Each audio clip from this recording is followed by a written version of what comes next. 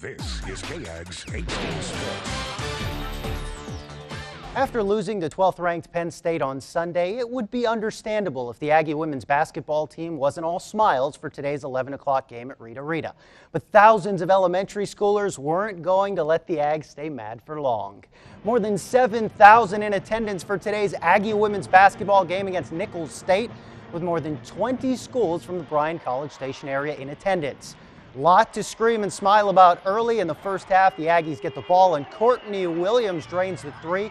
A&M went on a 12-2 run to start the game, and it was evident that Coach Gary Blair wanted to work on the transition game. Off the miss, Williams brings it down court, feeds Courtney Walker, who buries the jumper. Walker actually finished with 11, her ninth straight game in double-figure scoring. A&M led by 21 at half. Now in the second half, the Ags keep it rolling. Nice ball movement to the corner. Williams finished with a game-high 14 points. The Aggies shot 50% from the three-point line.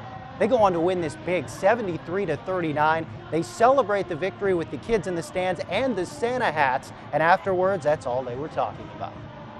Like I told them uh, after the game, this is the best environment we've had, and they cheered throughout the whole game. We've never had that before, so it just felt good to actually know, you know, they were loud the whole time. It just lets us know how much of a difference we made for them today.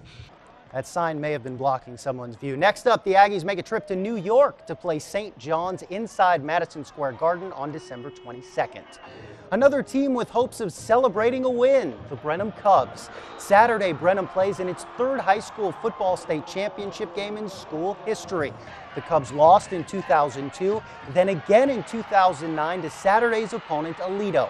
In that game, Brenham trailed 21 14 at halftime and lost 35 21. Will this year's game have a revenge factor? And how fresh is that game in players and coaches' minds?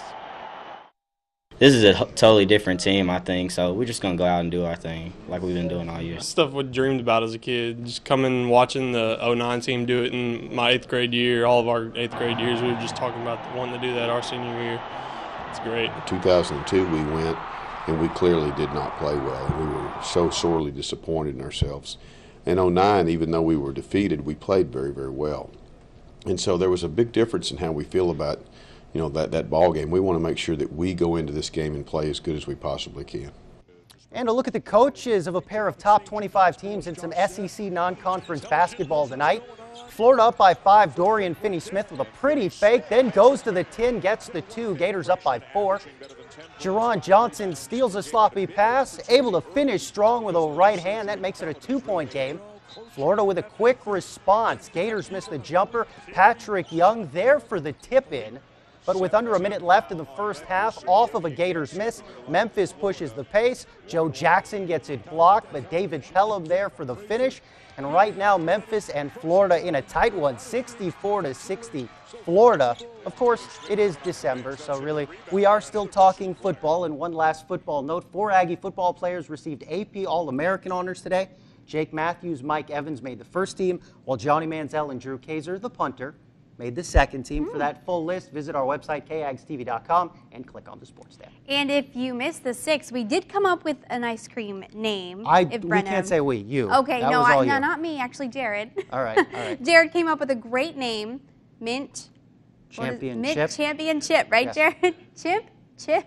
But Brenham has to win the game first, and that's yeah. definitely going to be uh, no cup of tea, I guess you could say. They won't they won't be facing a cupcake, so it'll Aww. definitely be a difficult game for them. But we'll all be rooting for them. Well, I won't be because I can't be, but we'll be covering it okay. for sure. We'll be right back after this.